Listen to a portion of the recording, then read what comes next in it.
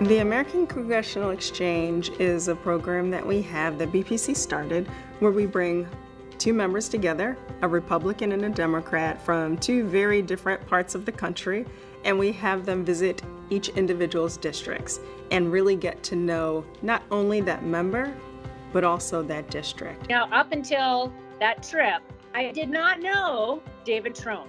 And because of his willingness to make the trip, to come out, to spend that time with me, I can testify that I now have a friend and an ally on many issues of mutual concern. Many of us share the same principles and we bring to the table different life experiences, different political perspectives. We shouldn't find that dangerous or divisive. We should find it something to celebrate. This is how America works is by coming together, rolling up our sleeves, getting away from the partisanship, getting away from the rhetoric, and getting back to just delivering. When you have a conversation with people you, and you have and you laugh and you get to know them, you no longer see them in the same light and you're much more willing to say, let's figure out how we can be friends and really find solutions. It creates a different type of dialogue and friendship that exists. And it also allows those members to see how different different parts of the country are and how many similarities there are.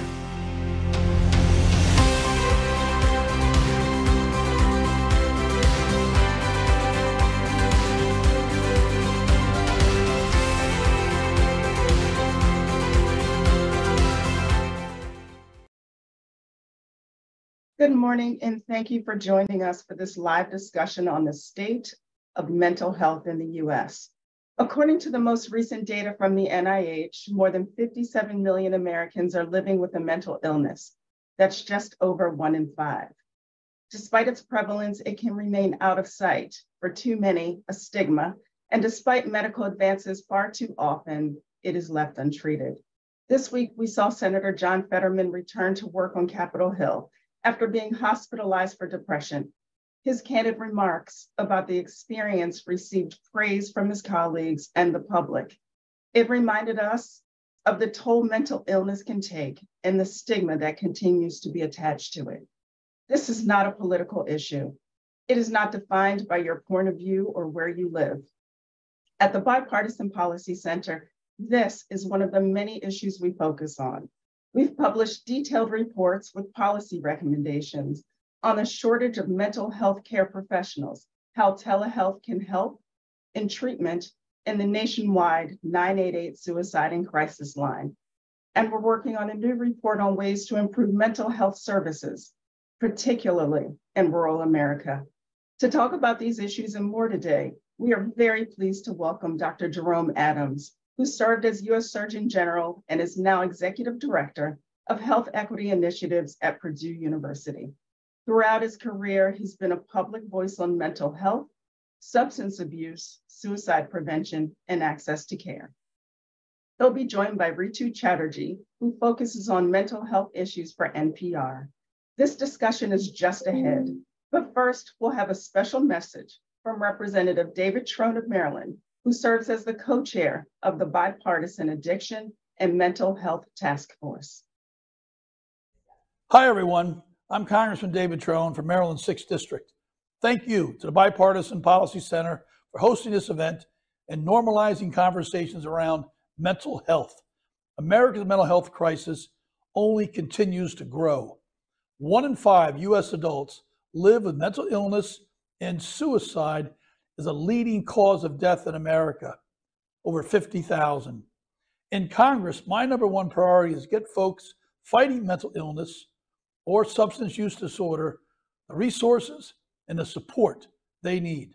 That's why I founded the Bipartisan Mental Health and Substance Use Disorder Task Force to bring attention to a national crisis and move the ball forward on finding solutions. You know more than anyone that the only way to make real progress in this fight is work together. We must be bipartisan. Mental health doesn't care if you're a Dem or Republican, liberal or conservative. It touches every family and every community. We need to ensure that we have all the resources needed to respond to folks in crisis and equip those on the front lines to save lives. I'm proud to say I'm working with over 130 members every day to take action on this issue. Last year, we introduced over 100 bills to combat addiction and mental health, all bipartisan, all. The 26 became law. We passed the largest investment in addiction and mental health ever in the annual government funding bill. The Restoring Hope for Mental Health and Well-Being Act is a package of 30 mental health and addiction bills, eight of which I led, all bipartisan. Further, last year we launched the National Suicide Prevention Lifeline, or 988, so that folks in crisis can get connected to trained counselor for free, confidential, 24 7 hour, 24 7 day support. We also need to provide mental health care before it gets to that point. So we passed the bipartisan Safer Communities Act, investing 11 billion in student mental health programs, including early intervention programs, school-based mental health and wraparound services, and improvement to school safety. Yet even as we take these major steps, many people still face the stigma surrounding mental health. This poses a significant barrier to assessing proper care. I commend my colleague, Senator John Fetterman. Senator Fetterman, great, great leadership for putting himself first and being an inspiration to so many Americans. Our message to America must be it's okay not to be okay. Mental illness isn't a failure of character, it's a disease that can and should be treated just like cancer. Together, from local, state, and federal levels, we must continue, work across the aisle, build a nationwide coalition, and invest in community based services. Thank you for joining me and this mission. We have to win. Take care. Thank you, uh, Congressman Trone, for those remarks, which actually set up uh, our conversation with Dr. Jerome Adams really well. Uh, and I do want to point out that we will be taking viewer questions uh, today. If you want to submit questions using, you can use the live chat on YouTube or uh, you can do it on Twitter using the hashtag BPC Live. Dr. Adams, thank you so much for being here. Um, I want to start with uh, sort of your personal uh, perspective. Like, when and how did you start to see and understand mental health as a public health issue? Well, that's a great question to start on. And I want to say thank you to you and thank you to uh, the BPC for having us here for this incredibly important and timely conversation. And uh, as a educator and a former surgeon general, I don't want to assume anything. So I want to just start off by defining mental health. I think it's important that people understand that mental health, it includes our emotional, our psychological, and our social well-being. And it's a spectrum. Uh, far too often when we talk about mental health, what people think about or what we're really talking about is mental illness. But that's just one spectrum. Uh, there are many people who have mental health issues and or who are paying attention to their mental health uh, without having a diagnosed mental illness. And it's important to understand that mental fitness is just as important as physical fitness. We can build up our mental health strength just as we can build up our physical health strength. Now, um, to the question you asked, um, my story is like many others. Uh, it's been very personal. So uh, I have experienced mental health um, through my family, um, through my role as a physician, and also through my role as a, a uh, public policymaker.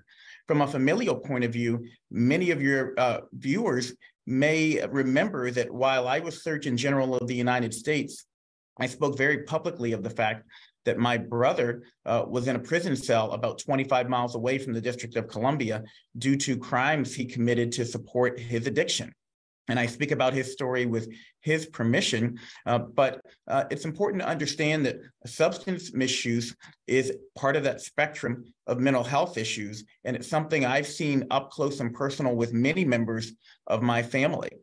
I also have uh, close family members who've dealt with depression and anxiety. And uh, you heard Congressman Trone talk about stigma. That stigma has really, I think, um, limited uh, their willingness as, uh, and for many Americans, uh, the willingness to to talk about these issues, to even acknowledge that they are issues, and uh, to receive treatment for those issues. So that's the personal side of things. As a physician, I'm in the hospital today working. I've seen far too many patients come in with physical health issues that really are manifestations of unrecognized and untreated mental health issues. I work. Can you give us an example? I'll give you an example. I work in a level one trauma center and uh, far too often, we see domestic violence cases. We see suicide attempts. Uh, we see drug overdoses. We see uh, gang related shootings that can be traced back to unrecognized and untreated anxiety, unrecognized and untreated depression, um, bipolar disorder, um, issues that if we had recognized them earlier or even prevented them earlier, and prevention is possible in many cases, we wouldn't have had these uh, horrific physical manifestations of these issues. And, and then finally, I, I, saw these issues as a public policymaker, as both an Indiana State Health Commissioner, where in Scott County, Indiana, we had the largest HIV outbreak related to injection drug use in the history of the United States. Once again, a, a uh, public policy issue. Many people remember me as the person who helped legalize syringe service programs, both in Indiana and then in many other rural and um, and uh, conservative states, but that was necessary because we didn't recognize and treat um, and intervene early enough with the substance misuse issues that in many cases were manifestations of uh, untreated um, upstream mental health issues. So again, in many different ways, I've been involved, and I think that reflects the reality for uh, many across America. So the, the, you brought up the issue of stigma, and so did Kelly and Congressman Trone, which because it's just so uh, important. And the pandemic did do away with a lot of the stigma, right? Just because, as you say, like a lot, many, many more people were experiencing some sort of psychological distress during the pandemic. Um, you know, we hear about mental health a lot more in the media now. Um, do you think we've really done away with it, or is there more still uh, more works uh, still to be done? Well, that is a great question, and you bring up a, an important point. The pandemic uh, was certainly a, a once in a century crisis, and crisis often brings with it opportunity.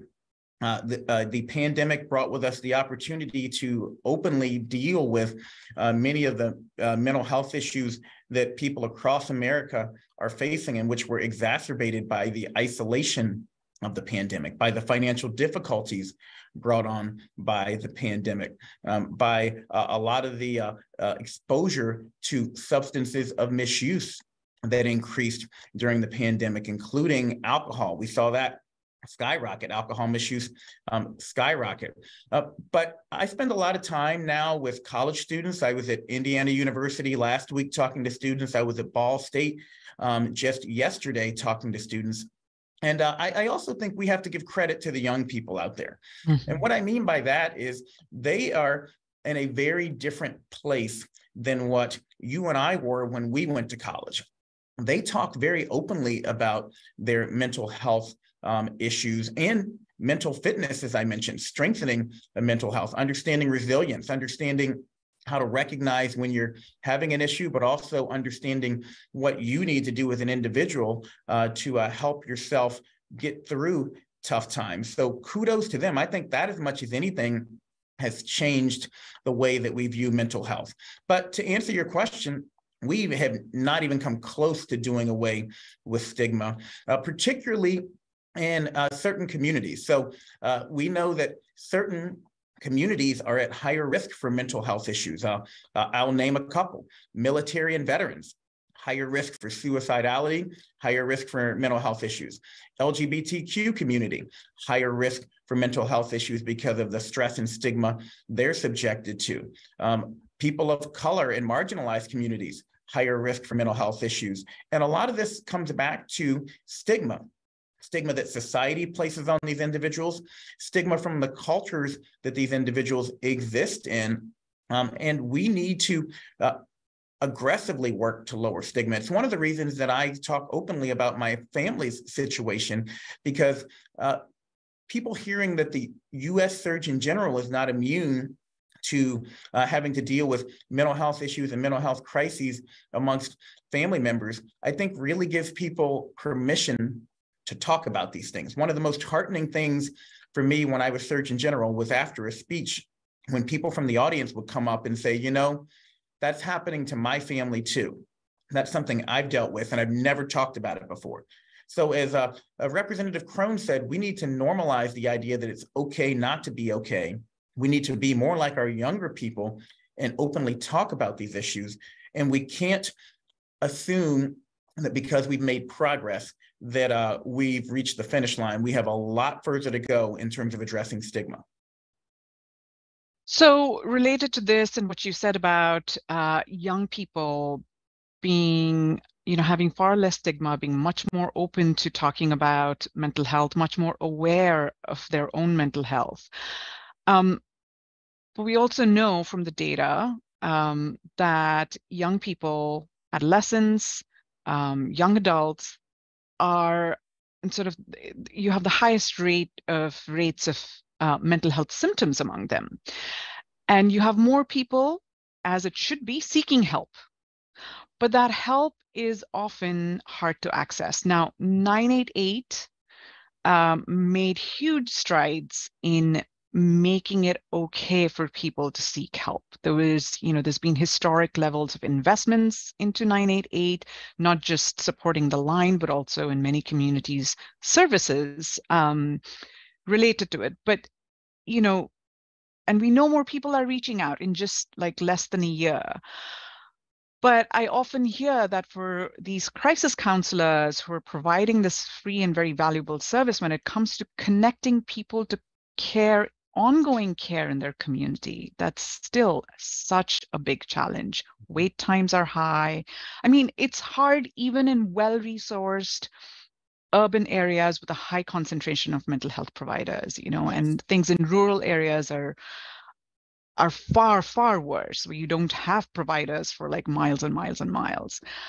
Um, what are your thoughts on how do we how do we improve access to care? How do we and access to care at many levels? You know, you talked about uh, just being in the ER and uh, treating patients who, had they been treated earlier, wouldn't have things wouldn't have escalated. Um, so we need sort of a whole, you know, sort of uh, continuum of care. That's that's the I guess term people people use.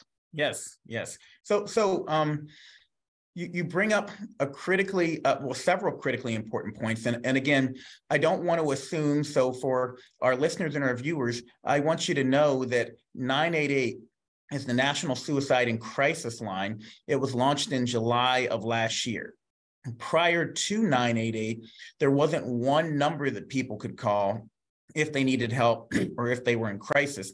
And far too often, uh, people were forced to call 911. Um, and I say forced, um, not pejoratively, 911 does great work, but it is not a mental health crisis response line. Um, and in most cases, if you called 911, you ended up in one of two places the emergency room or the jail cell. And we know that neither of those places is an ideal place for people who are having a mental health crisis to be. So 988 was an historic move forward. It was uh, something that was initially um, approved by the Trump administration and was ultimately funded and brought across the finish line by the Biden administration. So uh, just as the BPC does bipartisan work, this is something that had bipartisan support. But as part of the BPC's effort to promote 988, we emphasized that uh, we needed three things in order to make this optimally um, uh, effective for the public. We needed better interagency collaboration. Uh, we know that often the right hand doesn't know what the left hand is doing. People work in silos in the mental health um, world. And so uh, we need better interagency collaboration at a state and local and federal level. Um, we need to increase the behavioral health workforce, as you mentioned, Rhitu, um, because what we don't want is for someone to call 988 in crisis and then not be able to get the help that they need. They will lose trust and faith in the system, and it won't um, help anyone. And we also need financing. And I say this very directly because I know we have policymakers listening into our conversation today. We need to finance mental health uh, in the same ways that we finance um, physical health in our uh, in our um, in our medical systems and our healthcare systems. Um, now, I, I want to do a little bit of a deeper dive on the workforce issue that you brought up because that's huge. It's huge. Um, but we again have many opportunities. We saw a 7,000% increase in telehealth services during the pandemic. Uh, and most of that increase happened in the behavioral health areas. So we can leverage new technologies to uh, expand our behavioral health workforce. Uh, the important caveat there is that studies show that most of that increase in telehealth occurred in urban and affluent areas. So we have the potential to increase access, but there's also the potential to increase disparities if we don't maintain an equity focus to um, uh, to our utilization of these new technologies that not everyone has access to. Uh, we also need to look at um, alternative providers. So at Purdue University, where I work, we are training mental health nurse practitioners. Uh, we need to better utilize social workers um, and psychologists uh, because not everyone uh, can see or needs to see an MD psychiatrist to get their issues dealt with.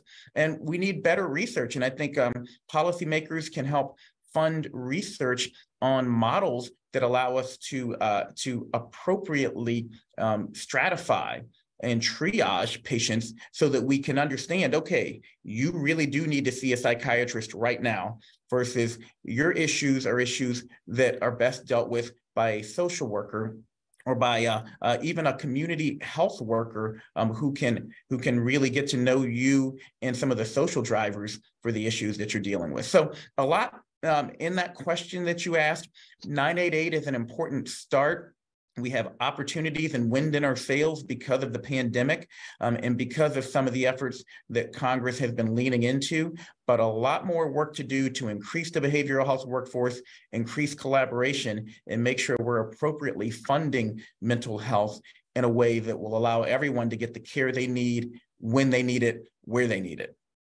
I just want to add a quick uh, a little note on the community health worker bit. There was there have been very successful trials done in India with um, the so-called ASHA workers or community health workers, and um, and they have been trained to provide like a brief psychotherapy um, uh, brief and ongoing um, to people in the communities.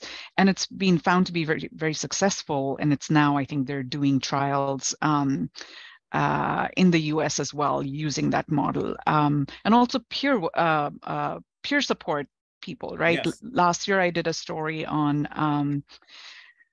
on recovery support specialist. I remember yeah. it was a wonderful story and that is a best practice, Rhitu, having people with lived experience, whether it's with substance use or people who've attempted to uh, take their lives before by suicide, or people who have a uh, another mental health diagnosis, uh, that peer support is a best practice. And the example in India that you talked about is a concept that we uh, refer to as SBIRT, screening, brief intervention, and referral to treatment.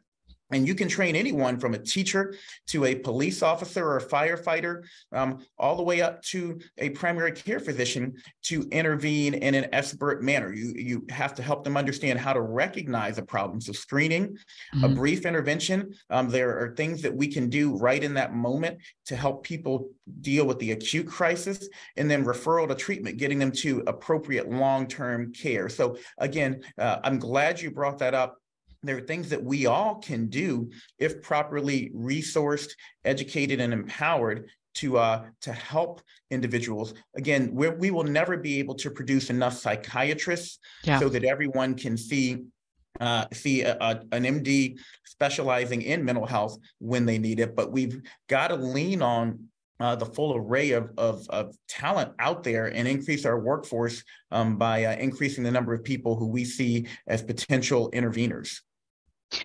Can you also talk a little bit about prevention, which you brought up earlier? Um, you know, there have been recent sort of uh, um, uh, uh, recommendations made to healthcare providers to screen early, like screen kids as early as eight for anxiety, for example, um, screen teens for depression and suicide. Um, so what is the role of prevention and what are the battery of sort of tools out there with early prevention? Because right now we know that the gap between starting to show symptoms and actually connecting to care is huge, like years, sometimes over a decade. Well, well, now you're speaking to my heart. So I am a physician. I work in a level one trauma center, and I absolutely want to be there as the safety net for folks when they are in crisis. But there will always be more people who need care than I or the system can take care of as long as we're in this crisis response mindset.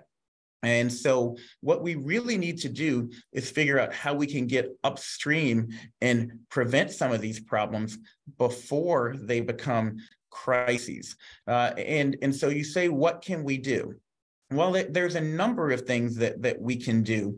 Um, we can uh, do a better job of integrating uh, uh, mental health services into primary care practices. Just as we screen you for blood pressure and uh, screen you for diabetes, we should be screening you at every visit for mental health issues so that we can intervene before it becomes a crisis. But you can even get upstream of the doctor's office we know in school settings, when we uh, train and empower school teachers to recognize issues, uh, they can um, ward off negative problems, including um, sometimes school shootings, suicides, uh, bullying. Um, we know that um, even better is being able to have mental health practitioners, social workers available to schools. And now with telehealth, we can make that more available if we fund it to schools without having to have a physical person on site. The teacher recognizes and then they can uh, set up a telehealth visit for that student and or their family. But even upstream from that, there are these things we too called adverse childhood experiences or ACEs. These are negative events that occur to someone when they're young, and it could include losing a caregiver, as over 250,000 people have uh, uh, have had happen to them during COVID. It can include abuse at home. Um, it can it can include seeing someone get shot, as far too many of our urban young people have had occur to them. But uh, recognizing and screening people for ACEs so that then we can intervene. And there are good studies that show that you actually can intervene uh, when someone has a high ACE score and you prevent mental health issues. And that is what a true public health approach to mental health is. It's not just treatment, treatment, treatment, which we're rightly focused on, but we're never going to solve the problem um, by looking solely through that framing. Um, and it's getting as far upstream as we can to prevent problems before they occur or before they worsen. That, that's what I think we need to do a better job of. And I hope policymakers will look at, at that. We've even, uh, one more thing I want to mention, just because we've been talking a lot about guns. Um, uh, we know that simply creating um, communities that people want to live in, greening, it's called greening of communities uh, cleaning up graffiti, uh, putting in parks and green spaces, that lowers the violence in a community because it improves people's morale. It makes them want to protect their community, and uh, you end up getting big community buy in and less violence. So there are all sorts of things that if we chose to fund, could help lower mental health issues and the negative manifestations on the back end.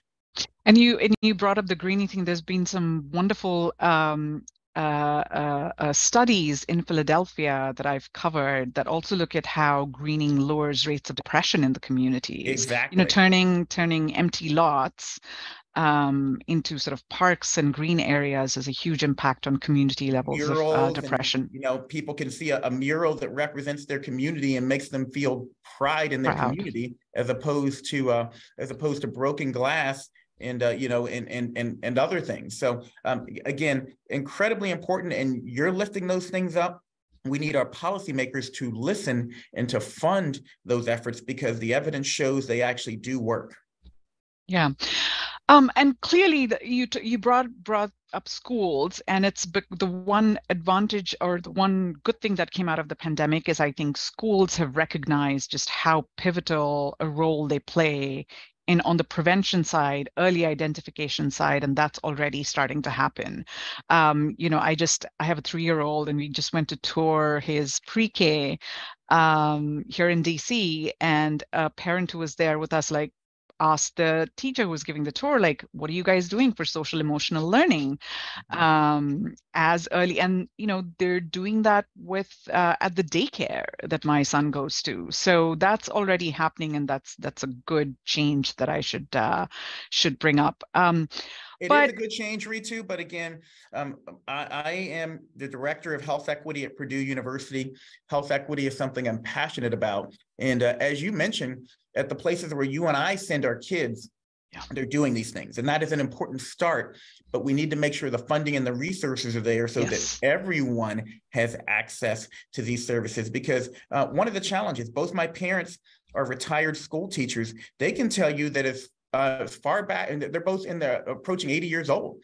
They've been dealing with these mental health issues um, for as long as there have been children. Um, it, it, hasn't been recognized, it hasn't been acknowledged, but in many cases, we rely on our teachers to be social workers, to be police officers, to be counselors, to be sometimes de facto physicians. And we need to properly resource and fund schools and not just put it all on the teacher to do it, particularly in marginalized and poorly resourced yeah. communities, or else again, we'll continue to see these disparities grow, even as um, uh, we see places that are more resourced take on a more enlightened and inclusive approach.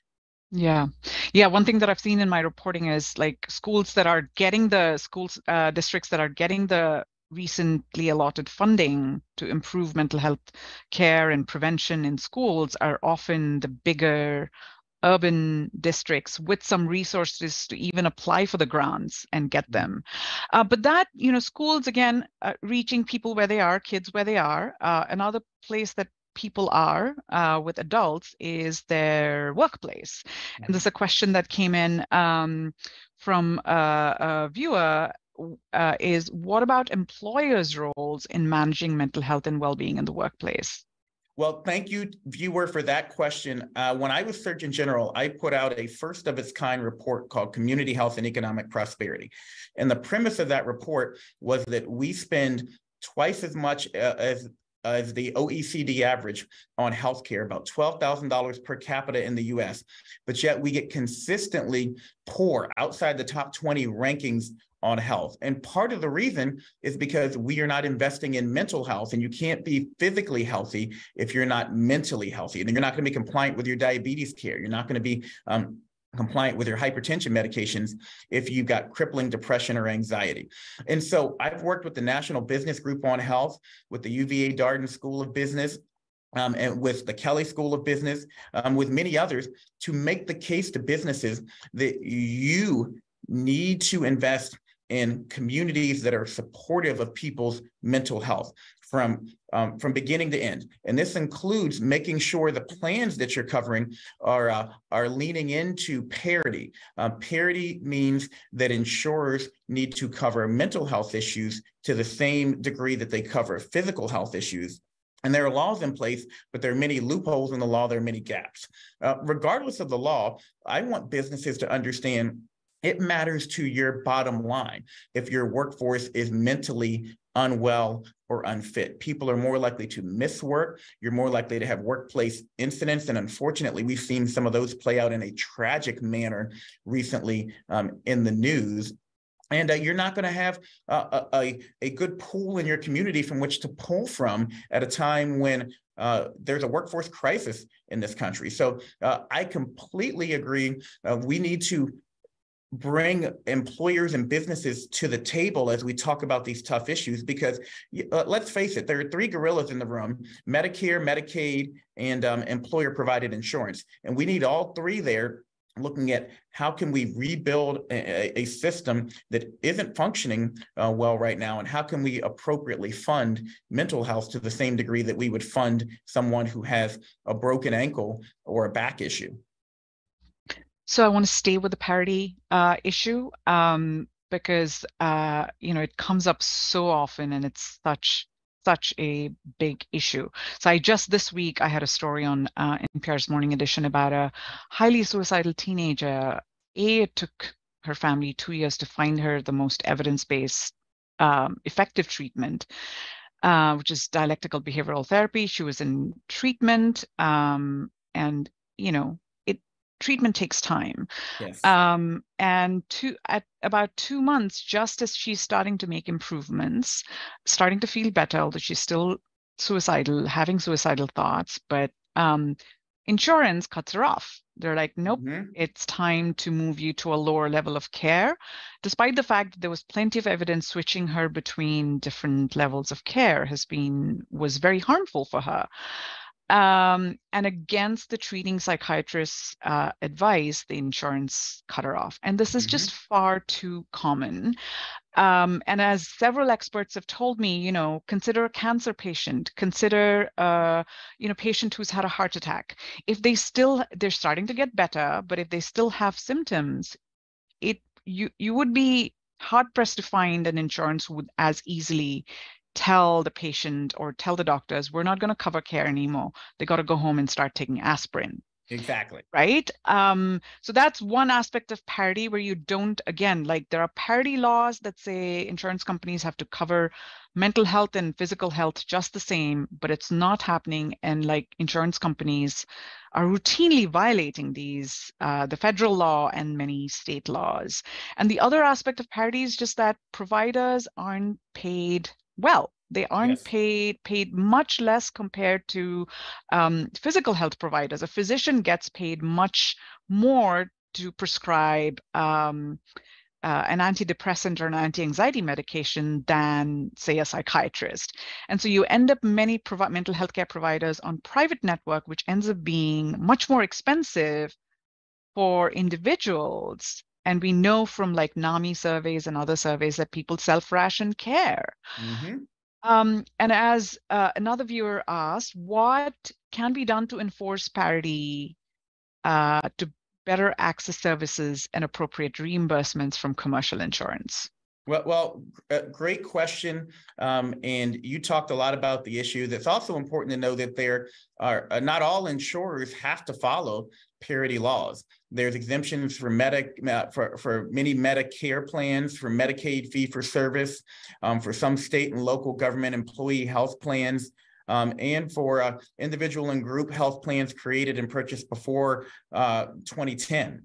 And so, one of the things Congress can do is make sure everyone is included in the parity laws. Um, we also, as I mentioned, have to continue to highlight the fact that there is a cost a cost not just to individuals, but a cost to communities and a cost to, to, to businesses when we don't cover these mental health services before they become uh, crises. We also have to educate the public.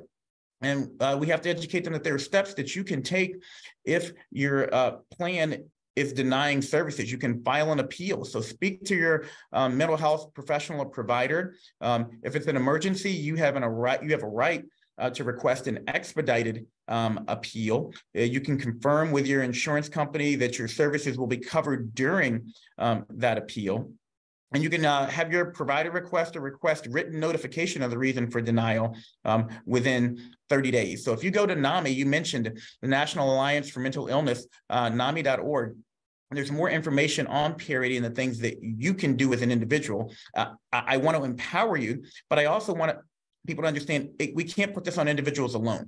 We need our leaders to uh, make sure uh, everyone understands the importance of parity. We need accountability for for uh, for businesses that don't um, comply with parity laws. But you hit on a, a point which um, we talk about, but not when not when we're talking about parity, and that's the workforce, which we began the conversation with Rhitu. Um, many uh, of these companies are are not fulfilling their parity obligations because they have thousands of people in the waiting list and they don't have enough providers or enough resources to provide care. So they simply say, okay, you've been stabilized.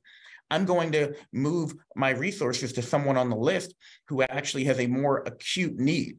And they end up kicking just stabilizing someone and putting on a band-aid and then kicking them kicking them out not because they don't want to do the right thing but because they don't have the resources to deal with everyone um, that that needs these services. So a big part of this is, are the things that we talked about earlier that i don't uh, want to repeat but but uh, that are going to help increase the the the the workforce and the availability of uh, mental health services um, so that it's easier for insurers to say okay i'm not denying someone in acute crisis care by allowing you, to stay in your bed um, for an extra week um, even though that's the best practice. Um Congressman Trone talked about uh, Senator Fetterman returning to work and being open about um, his diagnosis, his treatment. Um, Senator Fetterman was just on our airwaves on NPR yesterday talking about this. Um, you mentioned early on that you've very openly spoken about your brother's struggles with addiction. So um, a question from a viewer is how important is it for public figures uh, sharing their personal experiences with mental illness to help reduce stigma? Uh, it is incredibly important. You mentioned um, I shared my story. I I, I tweeted out um, um, accolades for Senator Fetterman when he first went into treatment and openly spoke about it because it normalizes this in the same way that someone um, who um, sprains their ankle or has um, some other medical issue um, uh, is, is treated. Uh, I also done a lot of work with the Pro Football Hall of Fame. Um, uh, we're um, leveraging athletes to tell their stories so that we can normalize this because in many cases, um, a Kevin Love talking about his mental health issues um, or a Hall of Fame uh, pro football player um, and, and there are many who I've worked with talking about mental health, is going to normalize it in a way that even a Surgeon General of the United States can't normalize talking about mental health. So we need more people talking openly about this. Um, again, you would have no athlete would have a problem saying, "Yeah, I, I tweaked my knee. I need ACL surgery." Uh, but uh, many people will hide the fact that they're anxious or depressed and needing or, or getting treatment for it. Um, and when they talk about it, then our kids will be more comfortable talking about it. Our workplaces will be more accepting of it, and uh, and we'll be in a better place. But one more important point is that we need more research and public expectation about uh, public education about what expectations for recovery should be. So again, I'm a physician. I can uh, tell you what recovery from your ACL tear is going to look like, how long it's going to take, um, what physical therapy you're going to need, how much work you're going to need to miss, what kind of work you need to do.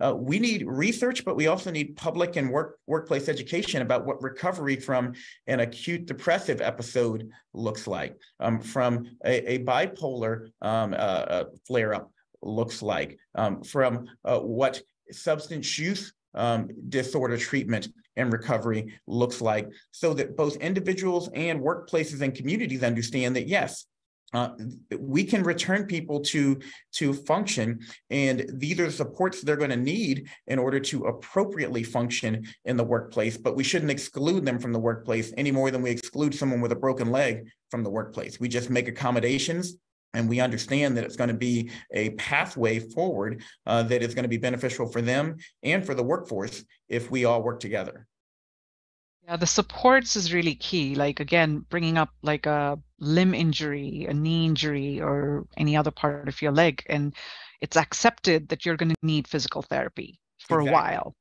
and you're not going to get back to sort of pre-injury fitness levels and function right away. And you um, may need a ramp in the work to get into your workplace, or and or you may need a special equipment, a special chair, or a special desk. But we understand and we accept that for physical health. We don't for mental health to the extent that we could or should. Yeah. Um, now I know we talked a little bit about prevention before, but there is another question. Um, so I'm going to throw. Uh, I'm going to uh, mention it in case you want to add anything else. Uh, the question is, how about taking a proactive approach to preventative mental health care? Um, and and I briefly mentioned this earlier when I talked about mental fitness. I think we need to do much more research into resilience and how we build resilience. And uh, we need to um, help people understand that there are exercises and activities that you can engage in to strengthen your mental health and not just look at it as a crisis or a deficit when people go to the spectrum of mental illness. So I go to the gym, uh, I work out um, my my my biceps, um, and I don't work out my biceps because I'm injured. I don't pay attention to them because I'm injured. I pay attention to them to strengthen them so that they won't become injured. Uh, we can do the same things for our mental health. Um, we can understand our triggers. We can understand so that we don't get hurt mentally, just as we know what things to avoid to get hurt physically. Um, we can strengthen ourselves with meditation, um, or for some people, it's sports or it's playing music. These types of things um, increase dopamine in a positive way um, in your brain and can strengthen your mental health. And it can also decrease people's reliance on or tendency to become addicted to dangerous substances. And uh, it's a good time for me to highlight that when I was US Surgeon General, uh, I really focused on a lot of, of the mental health um, uh, issues that our country was facing and the negative sequelae. So vaping, I put out an advisory on uh, on, on vaping, first Surgeon General's advisory in 10 years, um, uh, warning about the increase in youth vaping. Uh, many youth are vaping to treat anxiety and depression, and then they're becoming addicted, and it's creating a vicious cycle. Um, I put out a call to action on suicide prevention, uh, again, speaking to to this uh, to, to this viewer question, uh, we know that there are evidence-based ways, um, and the National Alliance um, has put out these ways in concert with me when I was Surgeon General on on ways that we can uh, identify people at risk for suicide and intervene early on. And uh, uh, I think it's important that we focus on prevention, um, and again, not just on downstream crisis care, uh, because we will never have enough resources to deal with everyone if we wait for them to fall off the cliff. We need to prevent people from falling off the cliff in the first place. I think that's a wonderful place for us to end this discussion. Thank you so much, Dr. Adams, um, for this very lively and engaging, informative uh, discussion. And I want to thank the Bipartisan Policy Center for organizing this, for hosting this, and for inviting me to uh, moderate. And thank you for every to everybody watching. Um, and I want to thank you. And uh, I also want to tell people you can go to uh, NAMI, N-A-M-I.org. You can go to the Bipartisan Policy Committee. They've written several reports, especially if you're a policymaker on many of these issues, rural health, 988, um, uh, other issues important to the conversation today. There are resources out there. And if we all come together, um, then we actually can create a better world, a more inclusive world where mental health is seen as critical to overall health. So thank you, Rhitu. Thank you so much, Dr. Adams. Bye-bye.